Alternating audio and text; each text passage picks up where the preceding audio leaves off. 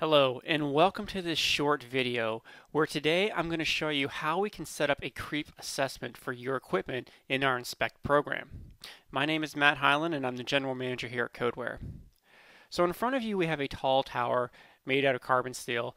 Uh, the cylinders are made out of SA 516 grade 70 and we're going to use this as an example.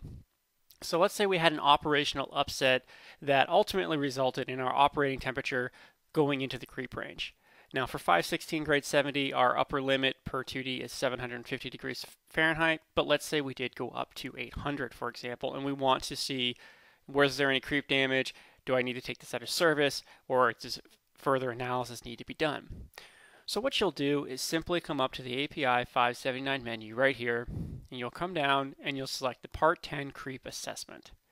Now I've actually gone ahead and set this up, so I'll just click away here. And once it gets added, you'll see it gets added along here to our toolbar.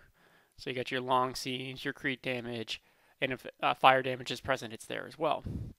So I'll select the creep damage option, and it opens up the dialog. Now, this is also a very useful assessment if you are, for example, looking at a fire occurrence and maybe the fire got into a very high heat affected zone and now you want to perform a creep assessment on that equipment as well. So they kind of go hand in hand that way. So the dialog is set up very simple. You can set this up for a single occurrence in the creep range or multiple as well and enter in the data. We're just going to look at a single occurrence today. And then you can set this up worst case for the entire vessel, or you can do specifically components. So if you just want to look at a cylinder or a nozzle or a cylinder with the nozzle, you can do it. But since we're here, let's assume worst case scenario so we can have a look at what you'll get in the output report when we run everything. Then from here, there'll be things such as your uh, description. You've got an excursion date, so you want to know what date did this operation actually happen.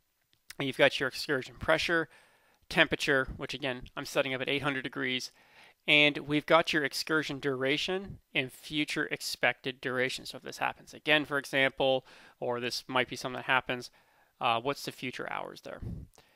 Then there'll be things such as your future corrosion allowance, your loss to date, and if you have the information available, you can enter in your Brinell hardness as well as your carbon content. And that's it. That's all we need to do to set up a creep assessment for level one. So I'll go ahead and click OK. And let's go ahead and run the report. So again, I'm going to run a creep assessment on this entire vessel. So you can see I've got many cylinders, heads, many, many nozzles on here. So we're going to run through all of it. So you simply come up and click on the F3 button. And now we've come to the output report. So I click the F3 button. Now I have a professional report available to me without having to copy and paste anything like that. So on the left, you're going to have summary reports. And if you've watched any of these videos before, we've got full detailed calculations of all the components for this tower. But what we're going to do is click on the creep assessment summary right here at the top. And here's the creep report. So again, everything is nicely laid out for you um, right here. And I want to run all the components so you can see the power of using the inspect software. So you can see here all of the identifiers. Every component on here, you can see on the side here what's your maximum permissible time based on screening curve and whether or not it passes the assessment. So for example, if you want to click on, let's say, let's have a look at cylinder one, it was on the top. It'll bring it down here and you can go through the detailed calculations. Everything's detailed out here so you can follow on exactly what Inspect is doing. So for example, the uh, basic information here, you've got the stress calculations for cylinder number one, and we've also given you the curves from API 579 so you can verify for yourself where we're getting these values from. Example, there's the figure 10.3b for your damage rate. Everything is laid out nice and neat for you to follow along. And that's really it. That's all we need to do to set up a creep assessment for level 1. So if you want to switch back to the model, simply click on the, the report icon.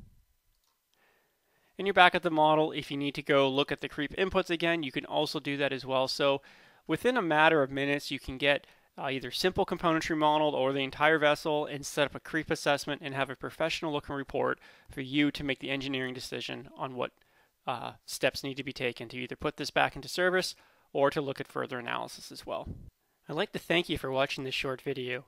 If you have any questions about the capabilities of Inspect and how we can help you, please email sales at codeware.com or give us a call at 941 927 2670.